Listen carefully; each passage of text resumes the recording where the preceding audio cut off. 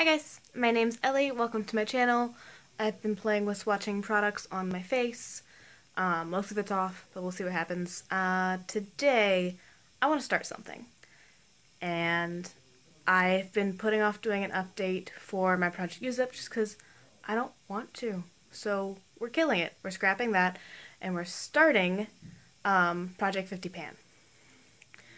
I have a lot of stuff in a pile right over there. It's already too dark for me to do it in my normal filming, so I'm going to kind of do a glance over. We will kind of look at the products. I don't know my goals for all of them, but I'm just itching to start. I've been thinking a lot about what I want to use, about some things that I just want to get out of my collection. So, I'm going to pull a bunch of them over it's, it's going to be a long video because I have a lot of stuff and I don't know which ones are going to make it through the year and which ones are just going to get decluttered along the way. So we're starting with a lot of items. I'm going to show you where I am and we will figure out what we want to do with each of them as we go. Because I have a lot of makeup. And some of it I'm just not using and some of it I've outgrown and some of it is like a good product but now I have a dupe of it. So we'll just, we'll see what happens. So batch one this is my makeup station, by the way. It's a mess.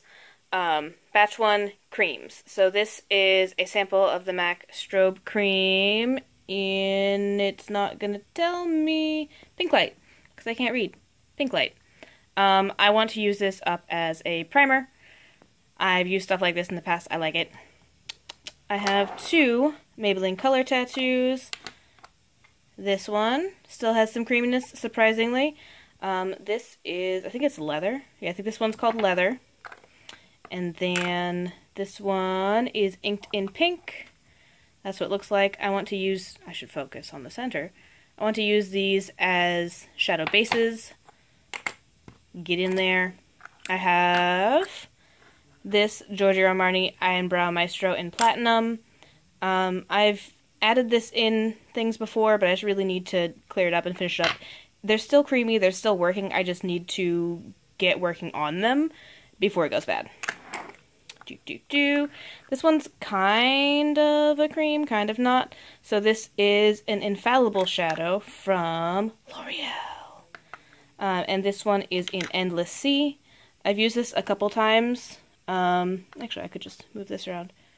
So yeah, it's really, really pretty. I just need to make the effort to use it. And since it is one of these kind of pressed down creamy, powdery things. I'm putting it in with the creams.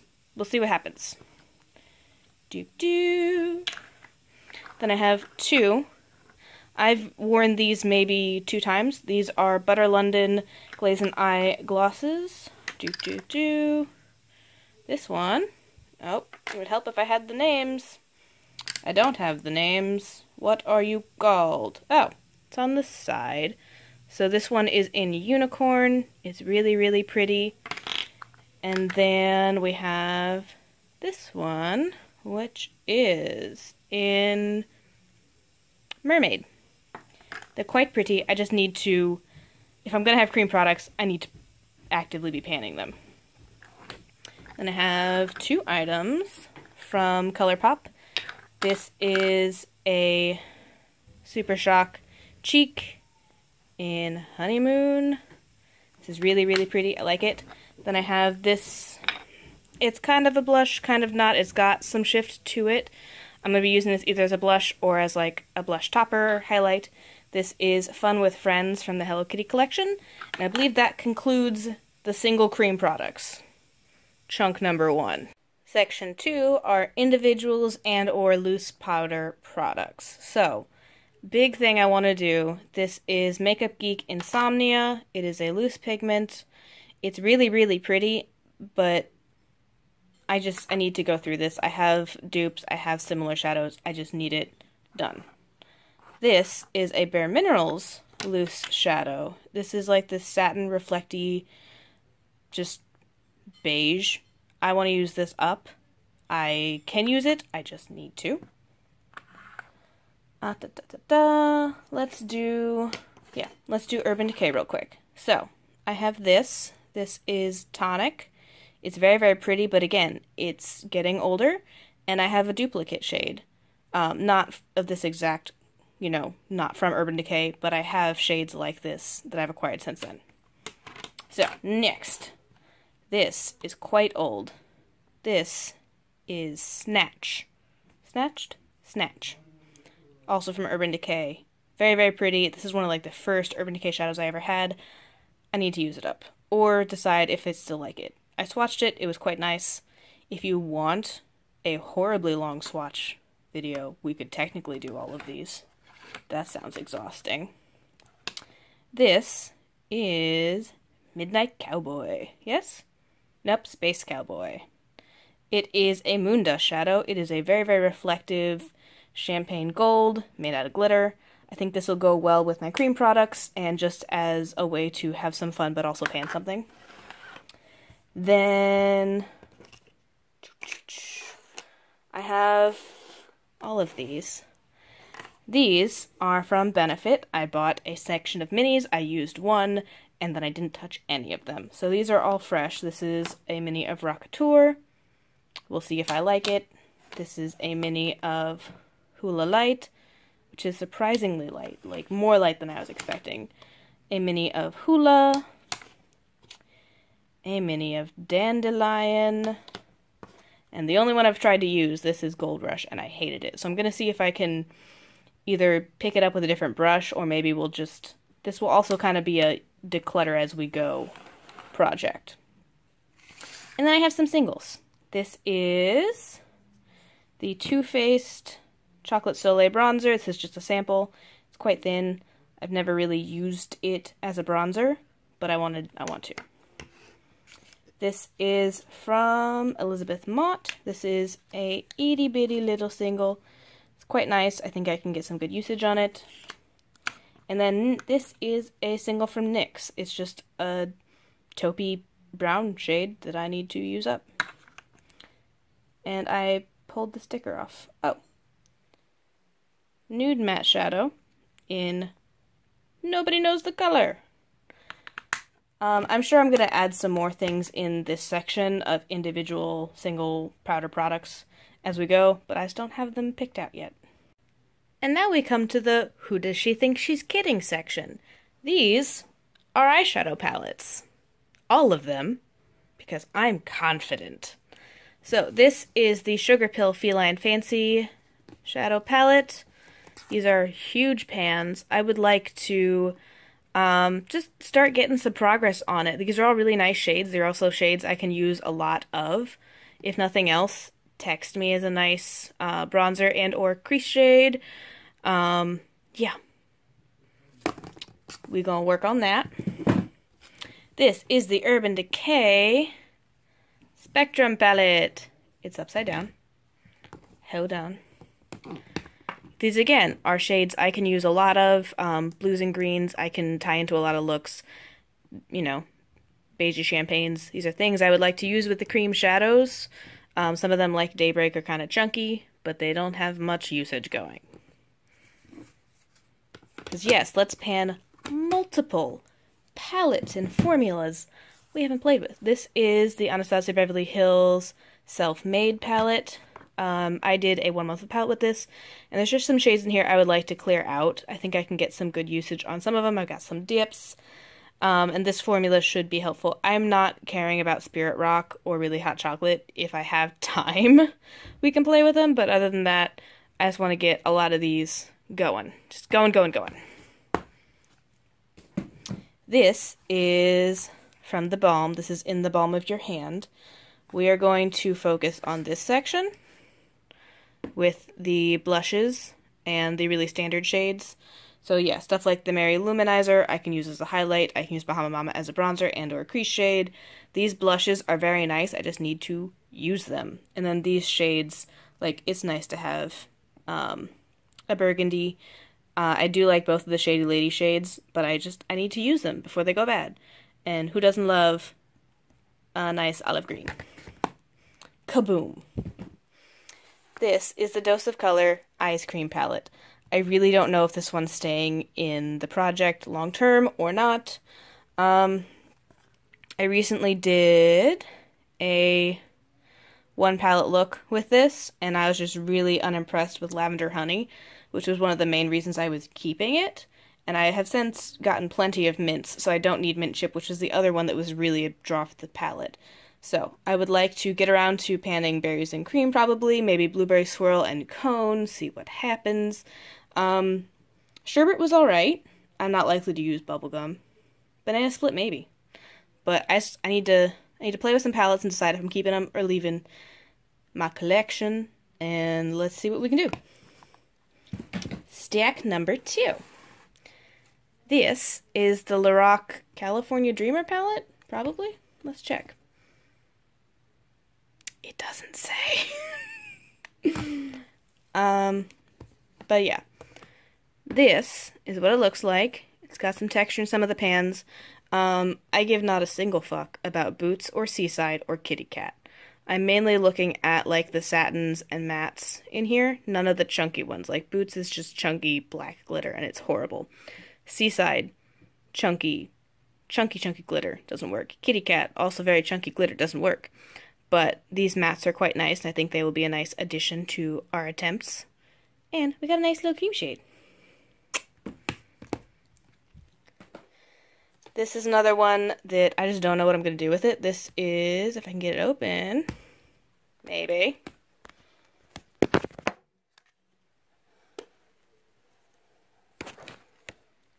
Got it open. This is the Pantone Universe watercolor palette something. I've used this like once, and it looks kind of ridiculous. I'm sure a lot of these are just not that pigmented.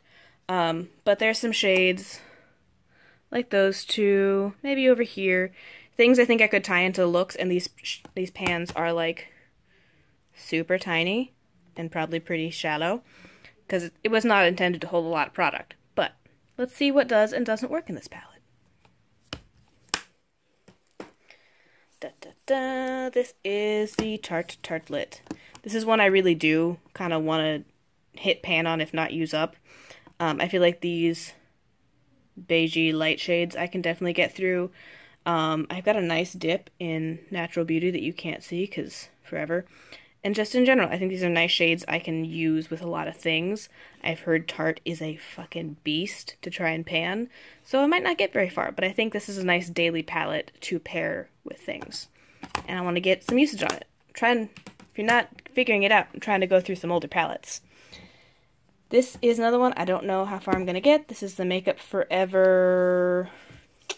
What are you? Two. Palette 2. So again, um, I'm not sure which ones I'm really going to get a ton of usage on, but these nice light shades up top are quite good. They're all nice shadows. Uh, there's a little hard pan on the pink and the purple, because I played with these before I knew what to do with shadows. But, like, that shade's really nice. That shade's really nice. That's a good outer corner shade. Let's see what we can do. But this is like a really old palette. And now, an extra Who Does She Think She's Kidding? The Alice Through the Looking Glass palette. I went crazy for this palette when it first came out. I considered buying a backup because I'm that crazy. This is what it looks like. They're really nice shades. They're not nearly as like Hatter and Heads Will Roll are a little out there, but in general, I guess Metamorphosis is a little out there. These just aren't as out there as I thought they were. They're very pretty. I want to do stuff like use up Dormouse, Pan Paradox, maybe Chessboard, Salazen Grum. Now that I've come around to more red tones, is really nice. Um, Kingdom and Chronosphere is going to be really nice for like the days I'm lazy and don't want to do anything because they make lovely all over the lid looks. Uh, Mirror is really nice. I just need to use it more. Duchess is very pretty. These are things I think will also go quite well with my cream shadows. Okay. And wait, there's more. So, um, I've kind of got some feelings. These two. These two are not part of the feelings these are the feelings. I'm kind of feeling done with Makeup Geek. Uh, just, I don't know. I haven't been excited about them in a long time. Wait, maybe this is part of it. This is. This isn't. sorry, these two are MAC shadows. The I just have these in here because these are things I got um, back when I was trying a lot, out a lot more MAC, and I've used them maybe once or twice. I just need to get something going on them. I think this is sushi flower. That could be a nice all over lid shade. I swear it's more, it's deeper in person. It's closer to that. And then this is tilt. Are you? I think you're, yeah, I think this is MAC as well. Again, a nice, pretty shade that we can do on the lid. So, those are just because they're old and I don't really use them. These are for other reasons. Some of these are shades I really liked. Some of these are shades that I've bought and not had a chance to play around with. Some of them I was just unimpressed with, but overall, I just don't think I want to do anything with Makeup Geek anymore. So we're getting rid of them. We're panning them. Because um, I spent money on them, and I might as well use them. Some of these, you know, are very useful. Some of these are not. I just, I don't really like how Marlena handled responding to the beauty community in her My Truth videos and I don't know. It's just left a sour taste in my mouth. And if I'm not confident supporting a company, I'm just not going to. So I don't really want to buy any more Makeup Geek. These are the Makeup Geek shadows I still have that I haven't panned. Um, so we're going to pan them. And then we'll just have a different place to get singles. So let's go through. This one is Phantom. This is actually a really cool inner corner highlight. It was my introduction to duochromes quite cool. This is High Tea. Um, I bought it entirely because of the name. I panned a decent amount of it last year, but I thought I might as well finish it up. This I have never actually worn. This is Shark Bait. I really wanted to get into this color, and I've since got into this color in different shadows, just not that one. This Shoop Shoop is a nice all over lid shade. It is in the spotlight. Why is my camera being weird? This one I might end up throwing out. I don't really care for this a ton. This is Twilight. It's more satin than it is metallic, and even then I was kind of figuring out that I. What is happening with my camera? I don't. I'm not the biggest fan of satins. This is Beaches and Cream. And I did not realize until receiving it how very fucking light this was. So this might be like a set my lid shade. It's it's real light. This one I do set my lid with. This is Sorbet. Just a really, really pinky light shade. This one is Bedrock. I've used this a couple times before I really realized how much I loved gray. So we'll use some more. This is Barcelona Beach. Um, I panned a lot of this last year. This should be something I can get rid of. And then this one, oh, this one. Early Bird. This was my introduction to warm tones. I saw it, I wanted it, I needed it, I bought it. And this was back when I was like really excited about um, Makeup Geek releases, and I just was so ready. Like she was doing the videos on um, YouTube going over the shades and like swatching them and talking about her process back when she honestly felt a lot more invested in her own makeup. And yeah, I loved that shade. I still do love it a lot. I just need to use it up. So, I have this right next to my makeup station. It's full of other stuff. So we have, I've allotted this drawer for all of my little single ones. Choop choop. So, those are things I'm going to try and pan, and we'll scroll on up. These are the palettes, and those are the single loose shadows, not like loose powder, but like not in a compact. And I think my camera's freaking out, but so I'll have these here next to my makeup station, and then I'll be tempted to use them more, and we'll see what happens.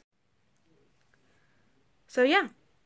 I just really want to get started on the next project. I have plans, I have things I want to do, and now I filmed it so I can start touching them. Because I, I had a weird thing where I felt like I couldn't get too far into them without starting the progress. So I have labeled it, I've got them separated, and um, yeah, some of these will probably just be um, Project Pan porn type things of hitting pans. Some of these will be I want to use it up all the way. Some of them are going to get decluttered along the way. We will find out together.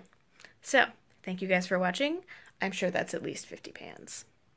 I'm going to be keeping a counter in the doobly doo in the description about um, if I finish something and move it out, I'll make I'll keep a tally in there of what we did and didn't use up. Um, just so I know if things get decluttered, I know how many. If I have already finished like, you know, 30 things, I'm not still trying to keep 50 going at the same time. I had also intended to pan my Aurora Glow Kit by Anastasia Beverly Hills, but I can't find it. And I only have so many places to keep my makeup, so I'm wondering if maybe that got left somewhere on a trip, which would make me sad. Or I lent it to somebody. I don't know. I just know it's not anywhere I can find it. So it's like I don't have it anymore. Which means, once I pan some more highlights, I can get one again. Thank you guys for watching. I'll see you next time.